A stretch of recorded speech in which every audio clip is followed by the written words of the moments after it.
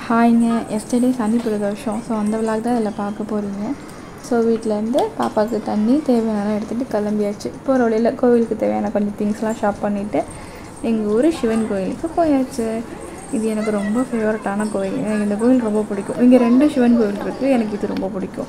So அபிஷேக பொருள்லாம் கொடுத்தாச்சு. மேடம் வாங்கி ஐஸ்கிரீம் வாங்கிட்டு வந்தாங்க. அதை உட்காந்து க்யூட்டாக சாப்பிட்டுட்டு இருக்காங்க. நெக்ஸ்ட்டு இந்த பிரதோஷ சுத்துன்னு சொல்லுவாங்க. அது எப்படி சுற்றணும்னு எனக்கும் ப்ராப்பராக தெரியாது. ஒரு ஒரு டைம் ஒரு ஒருத்தவங்க கூட சேர்ந்து இப்படி சுற்றணும் அப்படி சுற்றணும்னு சொல்லுவாங்க. சு சுற்றுவோம் ஆனால் கரெக்டாக எனக்கு தெரியாது. அது பேர் பிரதோஷ சுத்தும்பாங்க.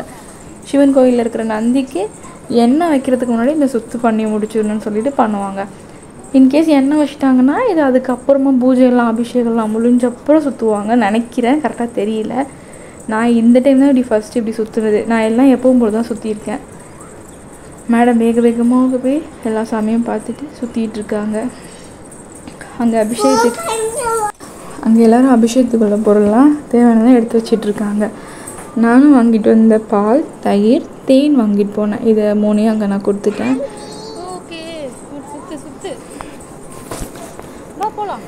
நாங்களும் எங்களுக்கு வீட்டிலேருந்து ஒரு ஒன் கிலோமீட்டர் தான். அதனால் எப்போனாலும் பிரதோஷத்துக்கு வாய்ப்பு கிடைச்சா கண்டிப்பாக நாலரை டு ஆறரை அங்கே தான் இருப்போம்.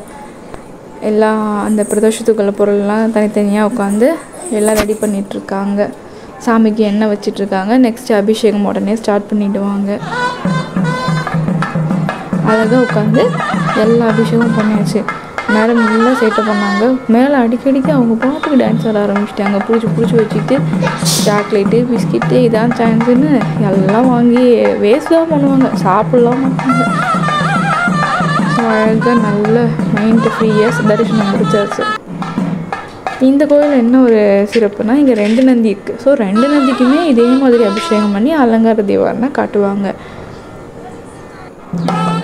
இதுக்கப்புறம் விளக்கு எடுத்து வச்சுருந்தேன் ஸோ ஒரு பதிமூணு விளக்குக்கு எல்லாம் ரெடி பண்ணி வச்சுருந்தேன். இங்கே அபிஷேகம் முடித்து அலங்காரம் பண்ணும்போது கடை கடை கடனே எல்லா சாமிக்கும் போய் விளக்கு போட்டுட்டு வந்துடும் வந்தாச்சு.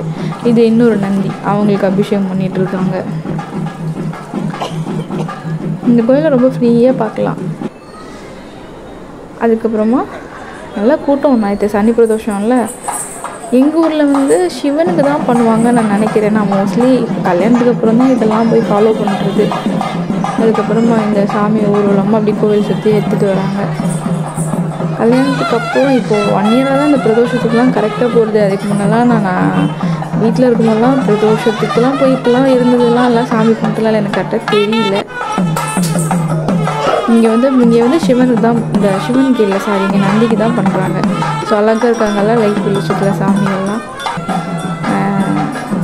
நந்தி தேவருக்கு தான் இங்கே பண்ணுறாங்க சிவனுக்கு காலையிலே பண்ணிடுவாங்க போல இருக்குது அப்புறமா சோறு சோறு சோறு பிரசாதம் கொடுத்தாங்க. அதை வாங்கி நல்லா சோறு சுண்டல் மிளகு சாதம் என்னெல்லாமோ இருந்துச்சு. நல்லா டேஸ்ட்டாக சாப்பிட்டாச்சு. சாமிலாம் நல்லா தான் இருக்காங்கல்ல. எனக்கு இதை பற்றின வீடியோஸ் வந்து இந்த வழிபடு வழிபாடு முறையெல்லாம் கரெக்டாக தெரியாது. நான் தெரிஞ்சுக்கிட்டு நெக்ஸ்ட்டு பிரசாதத்துக்கு பிரசாதம் வாயில் வர மாட்டேங்குது ஐயோ படுத்துற நிமிஷம் தாங்க முடியலையே. தலை வலிக்குதுடா. தலை வலிக்குதே. ரொம்ப டங்கு ஸ்லிப் ஆகுது. நெக்ஸ்ட் டைம் வந்து இதை பற்றி நான் நல்ல வயசில் பெரியவங்க கிட்டலாம் தே கேட்டு தெரிஞ்சுக்கிட்டு அடுத்த டைம் நான் இந்த ஃபங்க்ஷனுக்கு கோவிலுக்கு போகும்போது கிளியராக சொல்கிறேன் தேங்க்யூ எல்லோரும் வீடியோ சப்ஸ்கிரைப் பண்ணிவிடுங்க வியூ பண்ணுங்கள் நன்றிங்க.